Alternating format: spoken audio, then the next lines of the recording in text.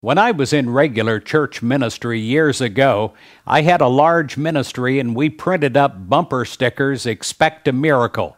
We also printed up cards for our hospital chaplains. They would go to the hospital and hand people cards, and the people valued those cards. They handed people cards to people of all faith. Expect a miracle. Those three words have great faith building power within the human being. You should write it down today and keep it in front of you. Expect a miracle. I remember years ago, Robert Schuller spoke at my church, and here is one of the things he said For every mountain, there is a miracle.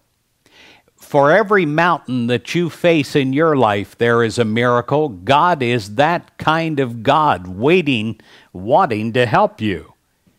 In Mark 10 27, it says, With men it is impossible, but not with God, because all things are possible with God. God promises that all things are possible with God.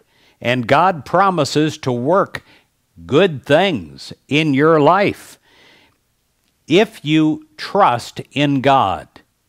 Now, that means that you're open to a miracle, that you're looking to God instead of the problem, that you're not blinded by the mountain of the problem, that you have faith inside of you so that the miracle can work through you, as you.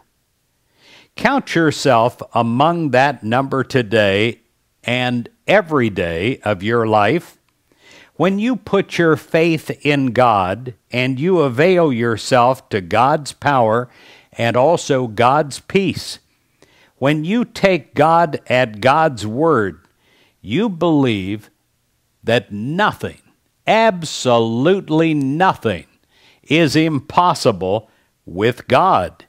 And you will be amazed at what God can do. Today, as you fulfill the responsibilities of everyday life, expect God to work in and through you to do big things for not only you, but also your family and your friends. Trust that the creator of the universe itself is capable of moving any problem mountain that you have in your life, including the ones looming ahead of you right now. And don't be afraid to ever ask for a miracle, because God is a miracle working God.